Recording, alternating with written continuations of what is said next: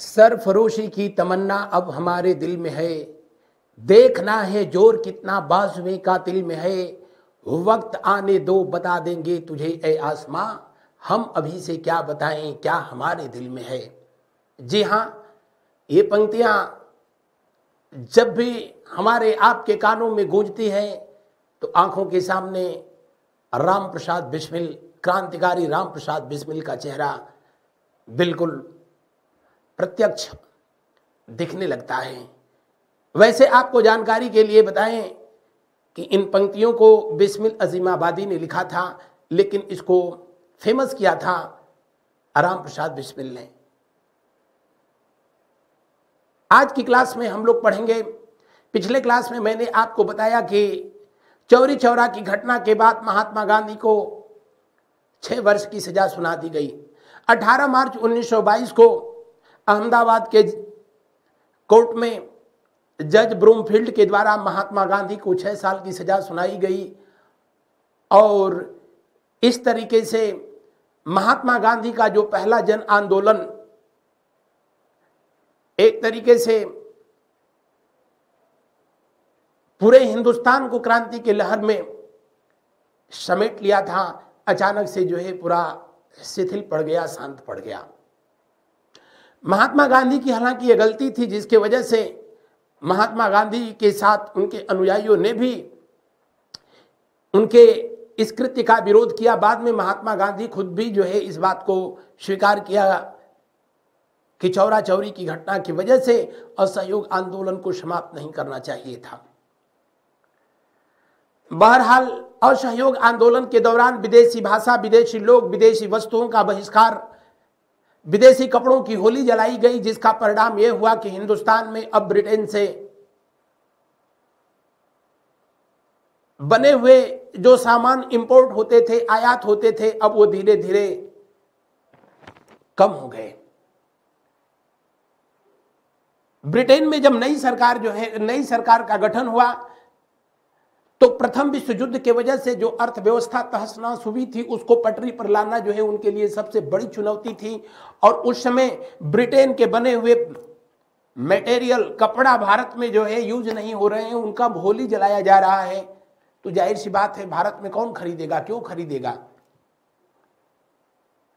और भारत में कोई जो है व्यापारी उसको नहीं परचेस करेगा तो ज़ाहिर सी बात है को, कोई इंपोर्ट क्यों करेगा? तो फिर लंदन में, यानी ब्रिटेन में उसका प्रोडक्शन क्यों होगा? ये तमाम ऐसी जो है बातें थी, जिसके वजह से ब्रिटिश गवर्नमेंट ने जो है इसके तह में जाकर के पता किया तो पता चला महात्मा गांधी। और महात्मा गांधी उधर जेल में बंद थे। उस समय का तत्कालीन वायसराय जिसका नाम था लॉर्ड रीडिंग लॉर्ड रीडिंग ने महात्मा गांधी को स्वास्थ्य कारणों से दो वर्ष के बाद ही जेल से रिहा कर दिया। यानी 22 में महात्मा गांधी जेल के अंदर गए 2000 और 1924 में। 1922 में जेल में गए और 1924 में इनको स्वास्थ्य कारणों से रिहा किया गया। ऐसा ब्रिटिश गवर्नमेंट के द्वारा बताया गया, लेकिन हकीकत कुछ और थी। क्योंकि राजनीति में हकीकत बताई नहीं जाती, और जो बताई जाती है, वो हकीकत होता ही नहीं है। सही तो यह था कि महात्मा गांधी का स्वास्थ्य नहीं, ब्रिटिश गवर्नमेंट का स्वास्थ्य जो है खराब हो रहा था। और महात्मा गांधी को जेल से छोड़ा गया, महात्मा गांधी को जेल से छोड़ दिया गया। और यह कथा उस समय की है जब महात्मा गांधी अभी जेल के अंदर थे। जेल के अंदर थे, उसी समय दरअसल हुआ यूँ कि भारतीय राष्ट्रीय कांग्रेस के कुछ जो राष्ट्रवादी नेता थे, वो बड़ा जो है निराश हो गए थे महात्मा गांधी के इस जो है कृत्य से। इसलिए 1923 का जो इलेक्शन होना था स्टेट असेंबली इलेक्शन होना था, उसमें पार्टिसिपेट करना चाहते थे, जिसमें प्रमुख व्यक्ति थे मोतीलाल नेहरू और चितरंजन दास। ये दोनों लोग चाहते थे कि भारतीय राष्ट्रीय कांग्रेस जो है इलेक्शन में पार्टिसिपेट करे, चुनाव लड़े और चुनाव लड़ करके अपने प्रतिनिधियों को विधान परिषद में भेजे असेंबली में भेजे, वहाँ पहुँच करके हम लोग, यानी असेंबली के अंदर भी और असेंबली के बाहर भी ब्रिटिश हुकूमत का विरोध करेंगे। लेकिन स्वयं महात्मा गांधी इसके पक्ष में नहीं थे। जेल में बंद महात्मा गांधी से जो है पूछा गया तो उन्होंने कहा कि मेरा कभी इरादा ऐसा नहीं था और नहीं होगा। 1922 का जब गया अधिवेशन हुआ, गया ये जगह पड़ती है अब बिहार में। कहा पड़ती है? बिहार में। जब गया अधिवेशन हुआ, गया अधिवेशन कौन? 1922 का। अध्यक्ष बनाए गए कौन? अध्यक्ष बनाए गए चितरंजन दास सी आर दास जिसको जो है कहा जाता था। और ये महात्मा गांधी के हालाँकि परम अनुयायी थे, लेकिन असहयोग आंदोलन के वापस लिए जाने के कारण अब महात्मा गांधी से थोड़ा सा इनका जो है विरक्ति हो गई थी। ये सबसे बड़े इस बात के पक्षधर थे कि भारतीय राष्ट्रीय कांग्रेस को चुनाव लड़ना चाहिए और असेंबली में पहुँच करके वहाँ पर भी ब्रिटिश गवर्नमेंट का विरोध करना चाहिए। लेकिन डॉक्टर राजेंद्र प्रसाद, मदन मोहन मालवीय सरीखे कुछ ऐसे लोग थे जो कि महात्मा गांधी के परम भक्त थे और महात्मा गांधी के जो है अलावा वो किसी और की बात स्वीकार ही नहीं कर सकते थे। यही वजह था कि चित्रंजन दास के इस विचार का गया में विरोध हुआ, इनके द्वारा रखा हुआ प्रस्ताव कि असेंबली में अपनी उपस्थिति दर्ज होना चाहिए। पास नहीं हो सका तो इन्होंने त्याग पत्र दे दिया। किसने? सी आर दास ने जो है त्याग पत्र दे दिया, रिजाइन दे दिया। और रिजाइन दे करके और चले आए कहाँ पर? कल, वहाँ से चले आए कहाँ पर? जी हाँ इलाहाबाद। और इलाहाबाद में आकर के जो है फ़र्स्ट जनवरी के दिन एक राजनीतिक दल का स्थापना किया जाता है और उस राजनीतिक दल का जो है नाम दिया गया क्या? स्वराज पार्टी। स्वराज पार्टी का स्थापना कब किया गया था? तो एक जनवरी 1923 को किया गया था। स्वराज पार्टी का पहले नाम क्या था? तो पहले इसे कांग्रेस खिलाफत स्वराज पार्टी कहा जाता था। कांग्रेस खिलाफत स्वराज पार्टी। लेकिन खिलाफत आंदोलन के कुछ जो है, उस समय खिलाफत आंदोलन अभी देश के अंदर चल रहा था। कुछ नेताओं ने जो है, इस पर ऐतराज जो है, जताया। तो ज़ाहिर सी बात थी, खिलाफत शब्द जो है, हटाना पड़ा। और कांग्रेस जनों के ऐतराज के बाद जो है, कांग्रेस शब्द भी हटा दिया गया। तो सिर्फ़ ये स्वराज पार्टी रह गई। इसका स्थापना कहाँ पर किया गया था? अगर पूछा जाए कि स्वराज पार्टी की स्थापना कहाँ पर किया गया तो आप कहेंगे कि इलाहाबाद में किया गया। तब इसे इलाहाबाद के नाम से ही जाना जाता था। किस नाम से? इलाहाबाद के नाम से ही इसको जाना जाता था। स्वराज पार्टी की स्थापना इलाहाबाद में किया गया, और इसके संस्थापक कौन थे? तो आप कहेंगे, इसके संस्थापक थे, इसके संस्थापक, जी हाँ चित्रंजन दास। चित्रंजन दास, जो कि सुभाष चंद्र बोस जी के राजनीतिक गुरु थे, और अलीपुर केस मैंने बताया था, अलीपुर की घटना के बाद जो है, ये काफ़ी लाइमलाइट हुए थे। ये भी बैरिस्टर थे। इस संस्था के जो महासचिव थे, जनरल सेक्रेटरी बनाए गए, इस संस्था के महासचिव बनाए गए कौन? मोतीलाल नेहरू। जो कि पंडित नेहरू के पिताजी थे, मोतीलाल नेहरू। इसका जो इस समाचार पत्र जो इस पार्टी का ऑफिशियल न्यूज़पेपर, जिस न्यूज़पेपर को डिक्लेयर किया गया, उसका नाम था इंडिपेंडेंस। इंडिपेंडेंस। हालाँकि इस समाचार पत्र को जो है 1919 में ही जारी किया गया था मोतीलाल नेहरू के द्वारा, लेकिन इस समाचार पत्र को स्वराज पार्टी का ही आधिकारिक पत्र जो है घोषित किया गया। और जिसके माध्यम से स्वराज पार्टी के संविधान और इसके जो है प्रावधान को पब्लिक तक पहुँचाने का प्रयास किया जा रहा था। महात्मा गांधी महात्मा गांधी के जो है जेल से रिहा हो जाने के बाद महात्मा गांधी के जो है जेल से रिहा होने के बाद स्वराज पार्टी के तरफ़ महात्मा गांधी का भी जो है रुख नरम रहा था। और इसलिए भी कि अपने पहले इलेक्शन में स्वराज पार्टी ने शानदार प्रदर्शन किया और न सिर्फ़ प्रदर्शन किया, बल्कि विठल भाई पटेल, जो कि वल्लभ भाई पटेल के बड़े भ्राताश्री थे केंद्रीय विधानसभा के अध्यक्ष बनने वाले पहले भारतीय हुए। कौन? विठल भाई पटेल। विठल भाई पटेल। विठल भाई पटेल। और केंद्रीय विधानसभा के अध्यक्ष बनने वाले ये पहले भारतीय हुए। तब स्पीकर के जो है पद को अध्यक्ष के रूप में जाना जाता था और ये हमेशा विपक्ष को मिलता था। अब तो स्पीकर का पद अब क्या ही बताया जाए।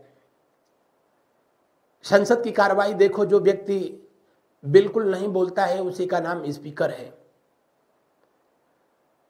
और बस वो please keep quiet keep quiet please उसी में जो है, उसका पाँच वर्ष बीत जाता है। वहाँ अगर विपक्ष का व्यक्ति अगर जो है बैठता तो शायद उस पद की गरिमा कुछ और होती, जो कि पहले थी। अंग्रेज़ों ने भारतीयों को रोकने के लिए यह काम किया था। अध्यक्ष पद को जो है बाद में सत्ता पक्ष में जो है, सत्ता पक्ष के व्यक्ति को जो है रिज़र्व कर दिया गया और आज़ादी के बाद भी जो है यही चल रहा है। बहरहाल, महात्मा गांधी के जो है जेल से रिहा होने के बाद 6 नवंबर 1924 के दिन जेल से रिहा होने के बाद 6 नवंबर 1924 के दिन गांधी और चितरंजन दास के बीच जो समझौता हुआ, उसी को जो है गांधी दास पैक्ट के नाम से जाना गया। किसके किसके बीच ये समझौता हुआ? महात्मा गांधी। महात्मा गांधी और चितरंजन दास के बीच जो है। चितरंजन दास के बीच ये समझौता हुआ। इलाहाबाद में, और इसी को गांधी दास पैक्ट के नाम से जो है जाना गया। इसका प्रभाव क्या हुआ? इसका प्रभाव क्या हुआ? या इसके पीछे जो है उद्देश्य क्या था? इसके पीछे उद्देश्य महात्मा गांधी का उद्देश्य था, जो कांग्रेस एक तरीके से जो है दो धड़ों में बट गई थी। एक स्वराजी, स्वराजियों का पक्ष ले रही थी और एक कांग्रेसियों में और स्वराजियों में बट गई थी। उनको पुनः एक करना था।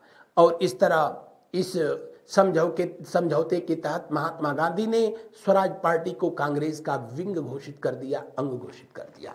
यानी इसके पीछे उद्देश्य क्या था? तो उद्देश्य था कांग्रेस और स्वराज पार्टी में समझौता। और हो भी गया। महात्मा गांधी ने स्वराज पार्टी को, स्वराज पार्टी को भारतीय राष्ट्रीय कांग्रेस का अध्यक्ष महात्मा गांधी ने स्वराज पार्टी को भारतीय राष्ट्रीय कांग्रेस का अंग घोषित कर दिया, विंग घोषित कर दिया। और फिर ये दोनों जो है संस्थाएँ एक साथ मिलकर के जो है काम किया। जब 1925 का अधिवेशन जो है भारतीय राष्ट्रीय कांग्रेस का 1925 वाला अधिवेशन हुआ और भारतीय राष्ट्रीय कांग्रेस का 1925 नहीं 1924 का अधिवेशन हुआ था। कहाँ पर हुआ? तो आप कहेंगे कि बेलगांव में हुआ था। बेलगांव में हुआ। और बेलगांव में ये अधिवेशन हुआ। बेलगांव में अधिवेशन हुआ तो यहाँ पर अध्यक्ष बनाए कौन गए थे? महात्मा गांधी जी। और महात्मा गांधी का जो है नाम का प्रपोजल सबसे पहले जो है चितरंजन दास ने ही रखा था। इसी अधिवेशन में महात्मा गांधी पहली बार और अंतिम बार भारतीय राष्ट्रीय कांग्रेस के अध्यक्ष बने, फिर कभी अध्यक्ष नहीं बने थे। स्वराज पार्टी बहुत लंबा इसलिए नहीं चल पाई कि 1925 में अचानक से चितरंजन दास की जो है मौत हो गई और इसलिए स्वराजियों में बाद में जो है विघटन भी हो गया था। भारतीय राष्ट्रीय कांग्रेस वही सत्य और अहिंसा की नीति पर जो है चल करके और आज़ादी के लिए प्रयास कर रही थी। स्वराज पार्टी भी उसी ढर्रे पर चल रही थी। लेकिन उन दिनों जो युवा क्रांतिकारियों का दल था, वो महात्मा गांधी के विचारों से जो है बहुत प्रभावित नहीं था। और खून का बदला, खून टिट फार टैट दुष्ट के साथ दुष्टता का व्यवहार करो की नीति पर चल करके कुछ लोग देश में स्वराज की स्थापना करना चाहते थे, स्वतंत्रता स्थापित करना चाहते थे। और इसीलिए जो है एच आर ए का जो है गठन किया गया। एच आर ए बोले तो ये क्रांतिकारी जो है एक दल था। क्रांतिकारी संगठन। क्रांतिकारी संगठन। एच आर ए बोले तो Hindustan republic. Hindustan republic Hindustan republic association, Hindustan republic association. और इसका गठन किया गया था, किस शहर में? जिस शहर में गठन इसका जो है स्थापना हुआ, उस शहर को उत्तर भारत का मैनचेस्टर कहते हैं। अब आप बात समझ गए होंगे कि मैं बात कर रहा हूँ किसका? कानपुर। इस शहर की स्थापना जो है सॉरी इस संगठन की स्थापना कहाँ पर हुई थी? कानपुर में हुई थी। इस संगठन के स्थापित करने का जो है उद्देश्य क्या था? इस संगठन को जो है स्थापित करने के पीछे जो है उद्देश्य था। भारत की स्वतंत्रता, भारत की स्वतंत्रता चाहे जैसे भी हो, भारत की स्वतंत्रता टिट फॉर टेट, दुष्ट के साथ दुष्टता का व्यवहार करो की नीति। कहीं कहीं आपको लिखा मिलेगा, सठे साठ्यम समाचरित सठे साठ्यम क्षमा चरित का मतलब ये होता है टिट फॉर टेट यानी दुष्ट के साथ दुष्टता का व्यवहार करो।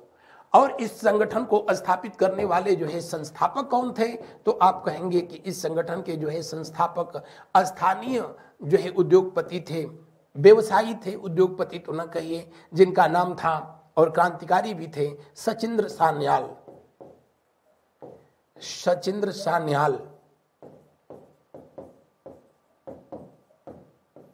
हालाँकि वाराणसी शहर से भी इनका जो है गहरा नाता था। सचिंद्र सान्याल, इसके अलावा जो है अन्य सहयोगियों में जो व्यक्ति रहे, उनमें आपके चंद्रशेखर आज़ाद चंद्रशेखर आज़ाद, भगवती चरण बोहरा, भगवती चरण बोहरा राम प्रसाद बिस्मिल,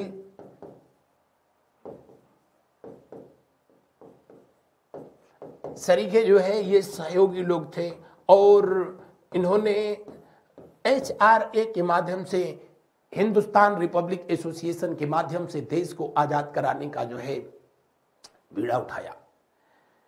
कहा जाता है कि सबसे पहले ए की जब बैठक हुई, कानपुर में पहला अधिवेशन भी कानपुर में ही आयोजित किया गया था। उस अधिवेशन में इन क्रांतिकारियों ने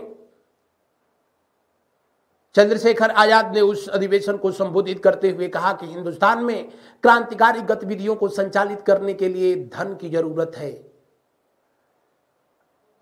और हम क्रांतिकारी तो निर्धन हैं।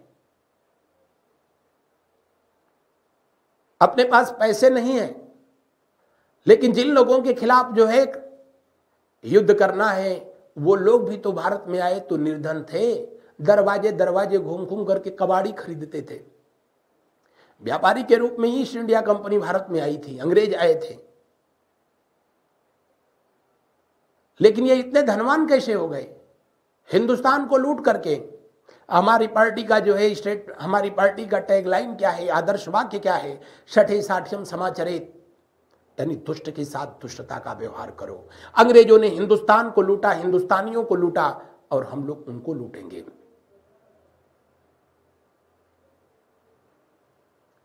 कहा जाता है कि कानपुर में सबसे पहले इंपीरियल बैंक ऑफ़ इंडिया को लूटने का प्लान किया गया था। इंपीरियल बैंक ऑफ़ इंडिया जिसको कि अब स्टेट बैंक ऑफ़ इंडिया कहा जाता है। आज़ादी से पहले इसको इंपीरियल बैंक ऑफ़ इंडिया के नाम से ही जाना जाता था। लेकिन बैंक में कैश है, कितना है, वहाँ तक कैसे पहुँचा जाएगा? क्योंकि बहुतेरे उस समय के ऐसे भी बैंक थे जहाँ की भारतीय लोगों का एंट्री जो है, पूरी तरीके से जो है वर्जित था। तो सबसे पहले इस संगठन ने बैंकों को लूटने का जो है प्रयास प्रयास किया। लेकिन जब उस पर इन लोगों ने काम किया तो पता चला कि तब कलकत्ता भारत में नोट प्रेस हुआ करती थी। वहाँ से जो है बैंक नोट या फिर जो है क्वाइंस, सिक्के ट्रेन के माध्यम से आते थे। और विभिन्न बैंकों तक वो भेजे जाते थे। अब तो ऐसा नहीं है, लेकिन पहले ऐसा ही था, ब्रिटिश हुकूमत में। तब राम प्रसाद बिस्मिल ने विचार अपना जो है प्रस्तुत किया कि फिर बैंकों को लूटने से बेहतर है, ट्रेनों को ही लूट लो, जिस ट्रेन के माध्यम से कैश बैंकों तक पहुँचाया जाता है। ट्रेन को लूटना बैंक के लूटने से जो है आसान है और कम मेहनत में अधिक फ़ायदा होगा। और उन्हीं के ये विचार थे, जिस विचार को जो है अंत तो गत्वा एग्जीक्यूट किया गया। और एच आर ए यानी Hindustan republic association, Hindustan republic association के द्वारा जो है पहली क्रांतिकारी घटना को अंजाम दिया गया और काकोरी की घटना। काकोरी की घटना जो है कब हुई थी? तो वर्ष 1925 में 9 अगस्त के दिन हुई थी। कब हुई थी? 9 अगस्त के दिन हुई। अगस्त का ही महीना क्यों चुना गया था? उसके पीछे भी रीजन था। हिंदी महीने में उसको भादो कहते हैं। अगस्त में ही आप लोग देखते हो, उसी के आसपास जन्माष्टमी जो है पड़ी जन्माष्टमी त्योहार जो है पड़ा था। और वैसे भी भादो का महीना जो है बहुत रात जो होती है भयंकर काली रात होती है। अगस्त के महीने का जो है चयन किया गया और 9 अगस्त के दिन अंत तो गतवा वो शुभ घड़ी आई जब एट डाउन पैसेंजर ट्रेन कौन सी ट्रेन थी? ट्रेन का नाम क्या था जिसमें काकोरी की घटना हुई, जिसका नाम अब काकोरी ट्रेन एक्शन किया गया। ट्रेन का नाम था Saharanpur. Saharanpur passenger.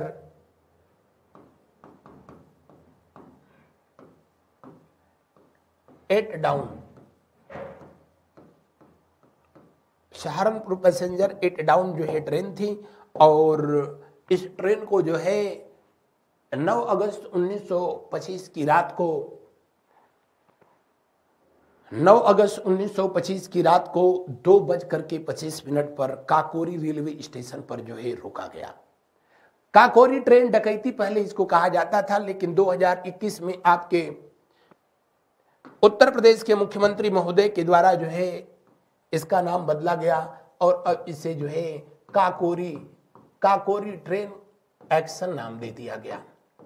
Kakori train action नाम दे दिया गया।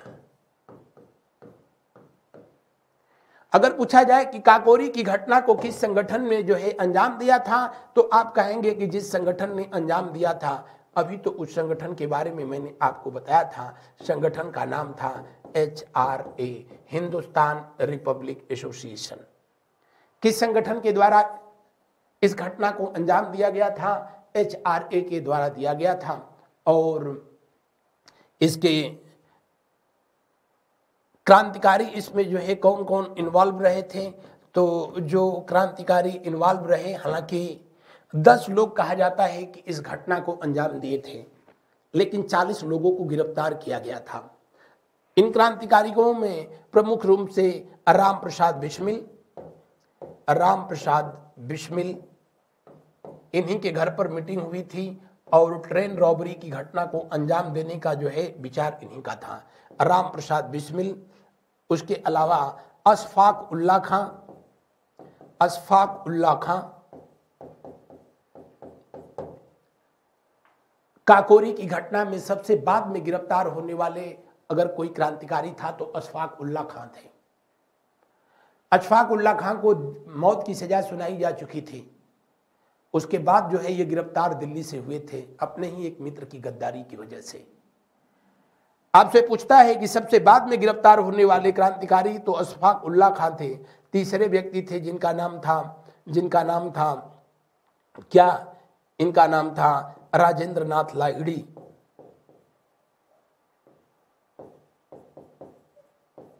राजेंद्र नाथ लाहिड़ी। राजेंद्र नाथ लाहिड़ी। राजेंद्र नाथ लाइडी और तीसरे व्यक्ति जो गिरफ़्तार किए गए थे, उनका नाम था, यही मैं लिख देता हूँ। रोशन लाल। इन तीन को छोड़कर एक राजेंद्र लाइडी ऐसे थे जिनका जो है जन्म स्थान अब जो है बांग्लादेश में पड़ता है। बांग्लादेश के जो है पबाना में पड़ता है। तब तो जो है वो भारत ही हुआ करता था। बांग्लादेश के पबाना में पड़ता है और ये अपने ननिहाल में रहा करते थे बनारस में। इनके पिताजी और इनके बड़े पिताजी दोनों लोगों को अनुशीलन समिति के जो है अनुशीलन हाँ अनुशीलन समिति जो कि कलकत्ता में चल रही थी, उसी के सक्रिय कार्यकर्ता थे। इसलिए इन दोनों लोगों को आजीवन कारावास की सजा हुई थी। इसलिए इनका परवरिश ननिहाल में हुआ, वाराणसी में हुआ और जब काकोरी की घटना हुई तब राजेंद्र लाइडी काशी विद्यापीठ में एम ए द्वितीय वर्ष के जो है छात्र थे। काकोरी ट्रेन एक्शन की जो है घटना को अंजाम दिया गया और गलती से मनमत नाम गुप्ता एक क्रांतिकारी थे जिनसे कहा जाता है कि माउजर जो कि जर्मनी का जो उस दिनों का रिवॉल्वर हुआ करता था, उसका क्रांतिकारियों ने इस्तेमाल किया था। ट्रेन को ज़बरदस्ती चैन पुलिंग करके रोक लिया गया। और जो गार्ड था, उसको माउजर दिखा दिया गया तो वो जो है बिल्कुल ऐसे शांत हो गया जैसे गार्ड के पास चला गया हो। और जिस क्रांतिकारी ने और गलती से जो है, उससे गोली चल गई जिसकी वजह से एक यात्री की मौत हो गई थी। जल्दी जल्दी गार्ड के बगल में ही जो कंपार्टमेंट होता है, जिसमें कि सामान वगैरह जो है रखे जाते हैं, उसको तोड़ करके और इन लोगों ने जल्दी जल्दी से उसमें से क्वाइंस सिक्के नोट जो मिला, उसको लेकर के फरार हुए। चादर में भर भर करके, बाँध करके जो है ये लोग फरार हो गए वहाँ से। लेकिन इसी आपाधापी में एक चादर जो है छूट गई। और सुबह होते ही इस घटना ने चारों तरफ़ को हराम मचा दिया। जो चादर छूट गई थी, उस चादर पर कुछ नंबर डाले गए थे और उसी नंबर के आधार पर पुलिस जो है, उस धोबी को पकड़ लिया था जिसने जो है उस चादर को धुला था और उसी धोबी ने जो है बता दिया कि इस जो है चादर बनारसी लाल नामक व्यक्ति का है, जो कि शाहजहांपुर के रहने वाले थे। कुछ लोगों का कहना है कि नहीं, इस घटना में इनाम की जो घोषणा की गई थी, उस इनाम के लालच में आकर के ही उस धोबी ने इस घटना की जानकारी पुलिस तक जो है दे दी थी। जो भी रहा होगा। लेकिन वो चादर थी जिसके माध्यम से इन क्रांतिकारियों तक पुलिस पहुँच गई और 40 लोगों को जो है गिरफ़्तार किया गया था। किसी एक घटना में सर्वाधिक गिरफ्तारी जो है यहीं पर हुई थी। कहाँ पर हुई थी? तो काकोरी की जो है काकोरी ट्रेन डकैती में, यानी काकोरी ट्रेन एक्शन में जो है। कुछ समय तक अपने केस का मुकदमा खुद जो है, लड़ा कौन? राम प्रसाद बिस्मिल ने। लेकिन बाद में मदन मोहन मालवीय जो है, एक वकील की भूमिका निभाई और इन्होंने इस केस में को जो है देखा था। हालाँकि उनके अलावा भी जो है और अलग अलग क्रांतिकारियों के अलग अलग जो है वकीलों ने इस केस को जो है डील किया, लेकिन बहुत कोई फ़ायदा नहीं हुआ।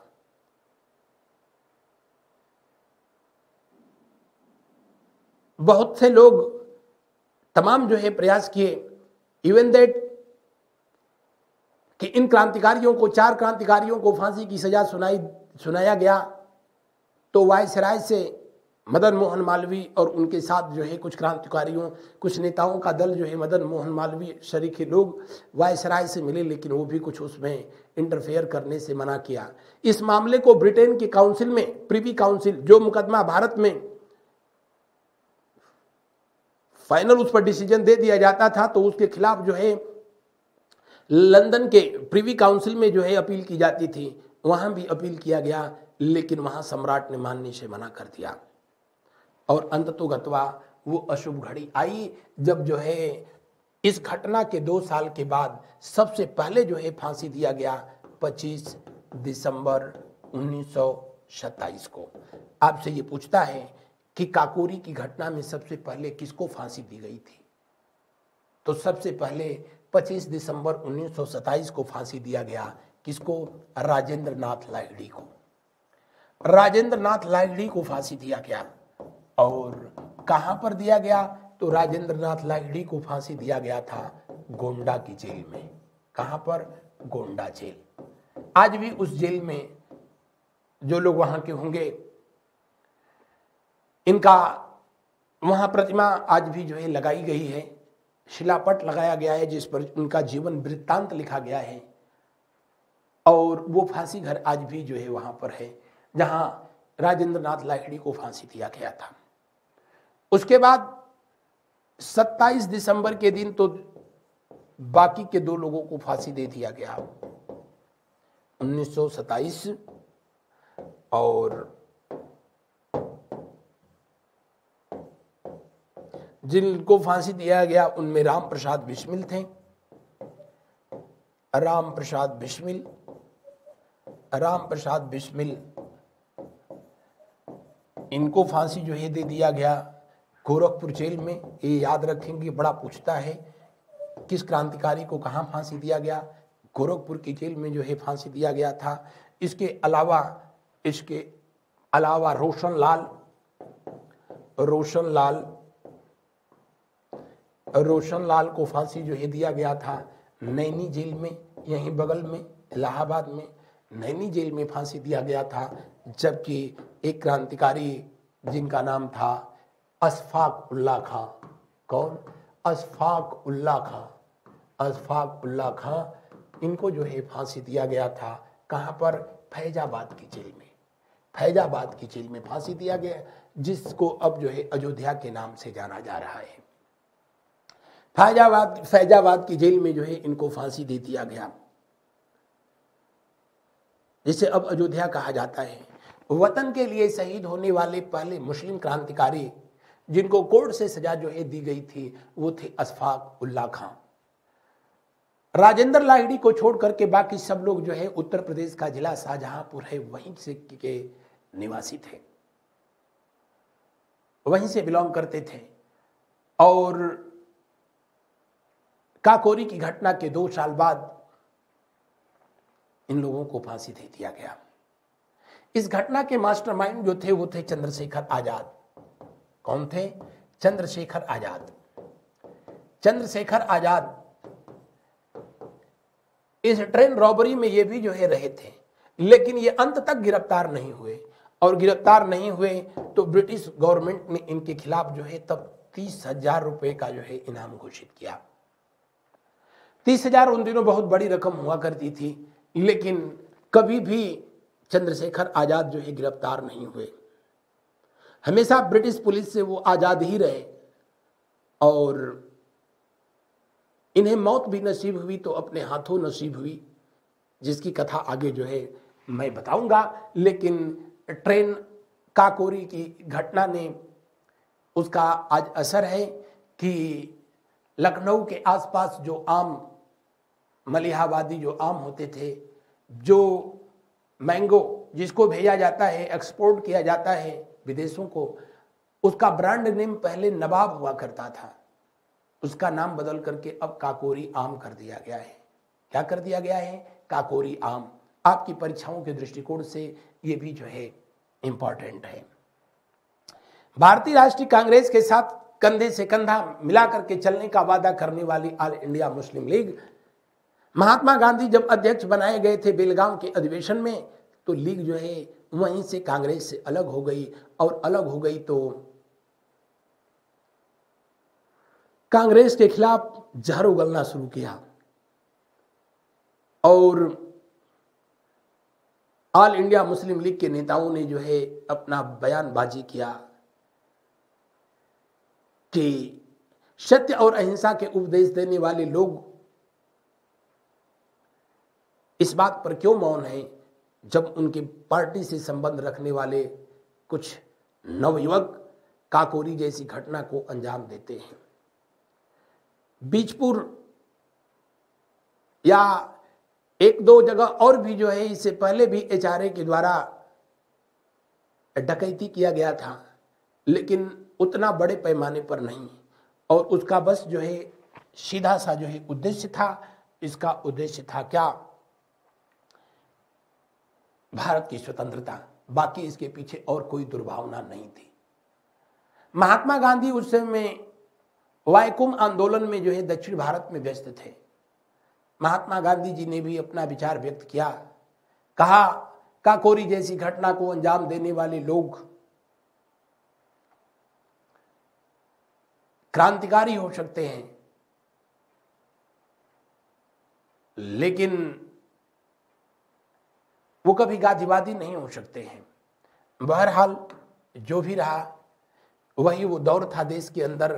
कहा जाता है कि इसी घटना के बाद, जो काकोरी की घटना हुई 9 अगस्त 1925 को, इसी घटना के बाद एक महानुभाव के द्वारा एक संगठन की स्थापना भी किया गया। हालाँकि, इनका भी उस समय जो है, रवैया तटस्थता वाली ही रही थी। लेकिन जिस संगठन की इन्होंने स्थापना किया, उसका नाम था आरएसएस, यानी राष्ट्रीय स्वयं सेवक संघ। अब तो खैर पूछना ही नहीं है।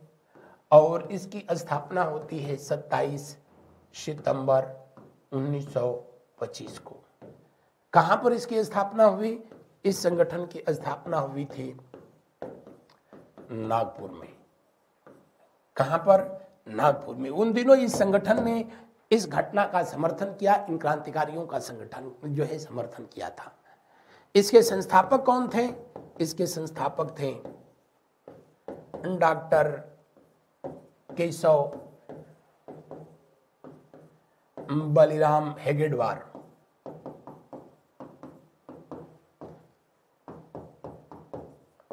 ये वो संगठन था जिसने काकोरी की घटना के दरमियान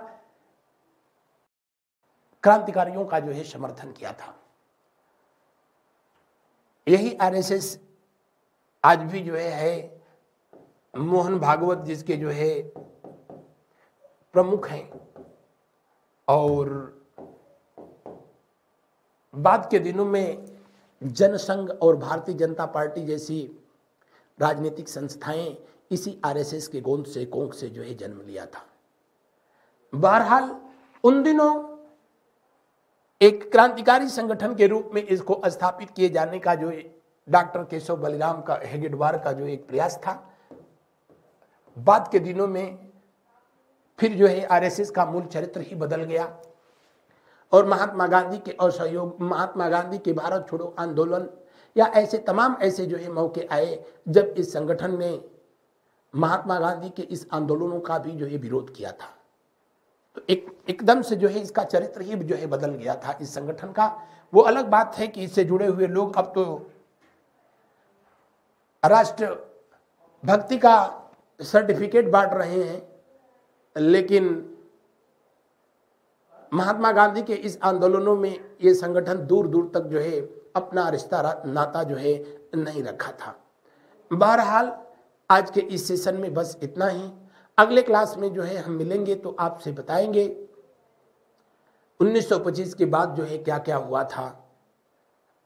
क्यों हुआ? कैसे हुआ? आज बस इतना। थैंक यू सो मच मिलते हैं अगले दिन, अगली क्लास में।